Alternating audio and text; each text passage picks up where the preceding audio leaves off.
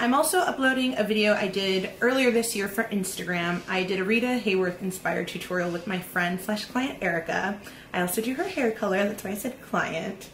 On myself, I only do wet sets, but when I work on others, I use Hot Tools curling iron. And in this particular video, I'm using a one inch Hot Tools curling iron. You'll also see my favorite Denman brush appear in a couple of my videos. This is a boar bristle and nylon bristle brush. This is a great alternative to the Mason Pearson if you do not have one or if it's not in the budget. Thank you for watching. Please subscribe. If there's anything you'd like to see, please let me know down below.